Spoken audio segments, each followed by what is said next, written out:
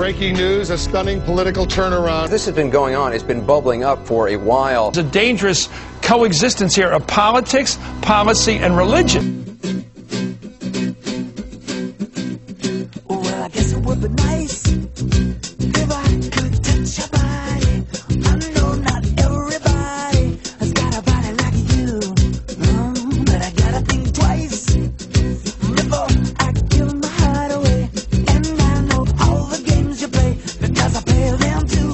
John McCain will be a strong, courageous, and effective leader from the first day he steps into the Oval Office. And I'm very honored today to have one of the truly great leaders in America, a moral compass, a spiritual guide, Pastor Rod Parsley. For your leadership and your guidance, I'm very grateful you're here, sir.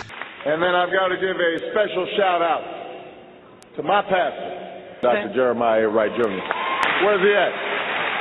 There he is. And another who tied me down to level boy. Hagee was already explosively controversial. He called Catholicism a false religion and suggested that Hurricane Katrina was God's punishment for the gay rights movement. Yet you solicited and accepted his endorsement. Uh, yes, indeed, I did. In fact, he is now facing tough questions about his ties to another preacher who has made fiery comments that are fiercely anti Islamic. Islam is an antichrist religion that intends through violence to conquer the world. America was founded in part with the intention of seeing this false religion destroyed. I'm glad to have his endorsement. I condemn remarks that are that, that are anyway viewed as anti anything. Let, let's And talk. Thanks for asking. Barack knows what it means to be a black man living in a country and a culture that is controlled by rich white people. Hillary can never know that. Hillary ain't never been called a nigger.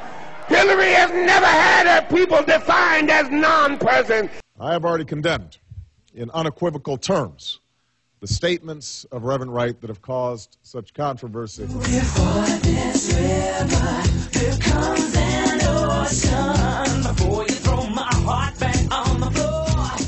McCain criticized Hagee's remarks but did not reject his endorsement until today in a statement repudiating Hagee's Hitler remarks as offensive and indefensible. Senator McCain is probably hoping his rejection of the Reverend Hagee is closing the door uh, on all this pastor controversy. And now the senator has been forced to reject my endorsement of his candidacy.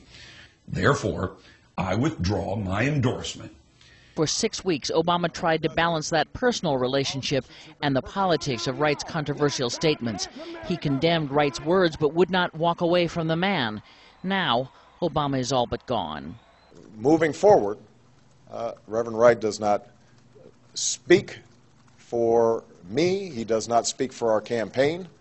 There's been great damage. I, I do not see that relationship uh, being the same after.